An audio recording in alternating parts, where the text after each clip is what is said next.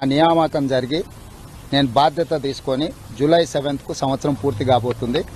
ఈ సంవత్సర కాలంలో తీసుకున్న దళిత గిరిజన దండోరా విద్యార్థి నిరుద్యోగ గర్జన రైతు డిక్లరేషను అదేవిధంగా రకరకాల సమస్యల మీద మేము చేసిన పోరాటాలు అదేవిధంగా ప్రజలను సమన్వయం చేసుకొని ముందుకు తీసుకెళ్ళిన అంశాలన్నిటిని కూడా వారికి దాదాపుగా ఈ సంవత్సర కాలంలో నేను పిసిసి అధ్యక్షుడైన తర్వాత నిర్వహించిన అన్ని అంశాలను కూడా వారికి వివరించడం జరిగింది.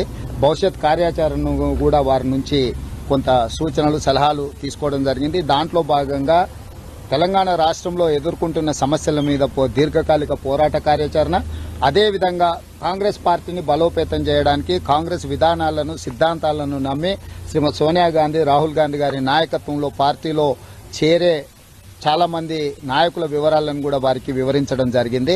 కాకపోతే కొన్నిసార్లు మీరందరు కొన్ని అంశాలలో మీడియా అంటే కొంత సమాచార లోపం వల్లనో లేకపోతే రకరకాల పరిణామాల వల్లనో కొన్ని అనవసరమైన చర్చలకు దారితీస్తుంది. చేరికల పట్ల వ్యూహాత్మకంగా కొన్ని ఎత్తుగడలతో ముందుకెళ్తున్నాం.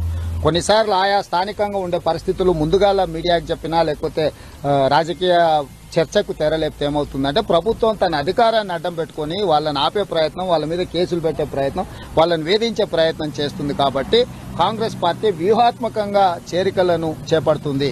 పెద్ద ఎత్తున జరగబోయే చేరికల విషయంలో కూడా పైనుంచి ఒక స్పష్టత తీసుకొని ఇప్పటి వరకు ఎవరు చేరినా టికెట్లు అనేది హామీ ఇవ్వడం జరగదు. టికెట్లు అనేది ఎన్నికల సందర్భం వచ్చినప్పుడు పార్టీ ఒక ప్రక్రియను చేపట్టడం ద్వారా ఎన్నికనే ఎన్నిక అంటే గెలిపే కాకుండా పార్టీ పట్ల వాళ్ళకున్న నిబద్ధత విశ్వసనీయతను కూడా పరిగణలోకి తీసుకొని పార్టీ నిర్ణయిస్తుంది. దానికి ఒక ప్రణాళికబద్ధంగా పార్టీకి ఒక విధానం ఉంది టికెట్లు నిర్ణయించేటప్పుడు. సో ఆ విధానంలోనే టికెట్లు ఇవ్వడం జరుగుతుంది. ఈ స్పష్టత కూడా మేము ఇవ్వదలుచుకున్నాం. మీ ద్వారా కూడా చెప్తున్నాం.